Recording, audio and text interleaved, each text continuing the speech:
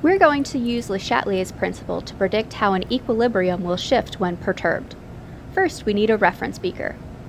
This is the reaction between iron 3 plus and thiocyanate ion. This is the colored iron thiocyanate.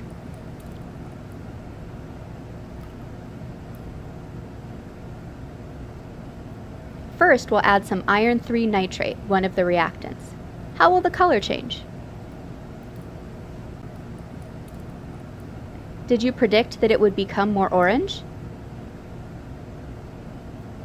Next, we'll add some potassium thiocyanate, the other reactant. What do you think will happen now?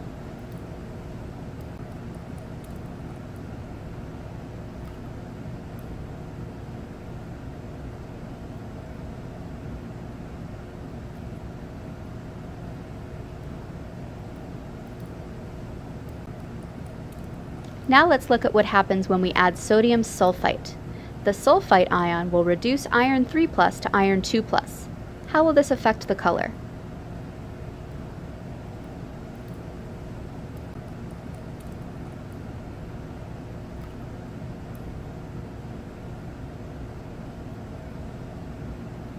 Now let's add sodium fluoride.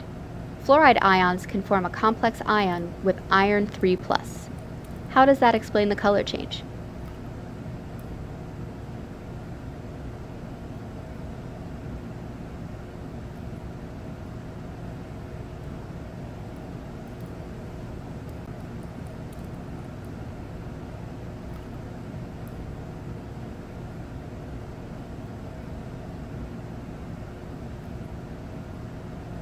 Last is silver nitrate silver ions remove thiocyanate ions from solution by forming a precipitate, causing both the cloudiness and the loss of color.